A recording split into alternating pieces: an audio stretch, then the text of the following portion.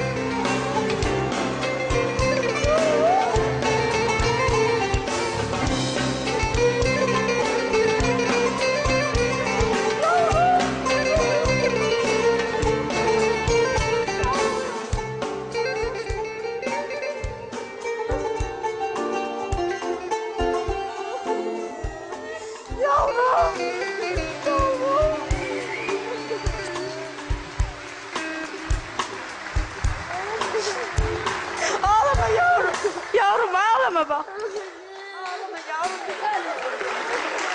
Ne ağlama yavrum? Yavrum ne Yavrum.